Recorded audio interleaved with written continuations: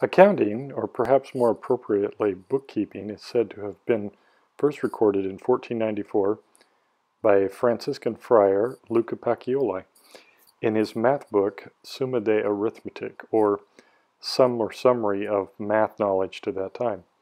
One can see from these pages that this is a math book.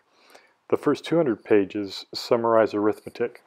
For example, this page shows a common method of counting at the time to keep track of numbers and sums and digits as one counted.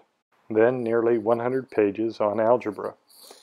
There is a section on business math, including bookkeeping, then 150 pages on geometry at the end of the book. Luca Pacioli chose to use Renaissance Italian to write his book rather than the academic uh, Latin of the day.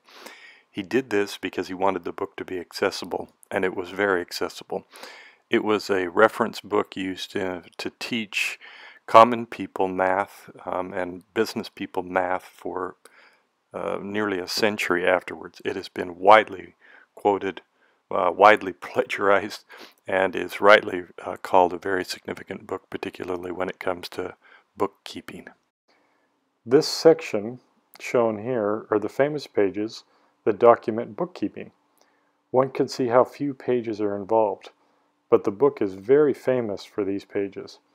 We'll talk about these pages in much more detail in following episodes.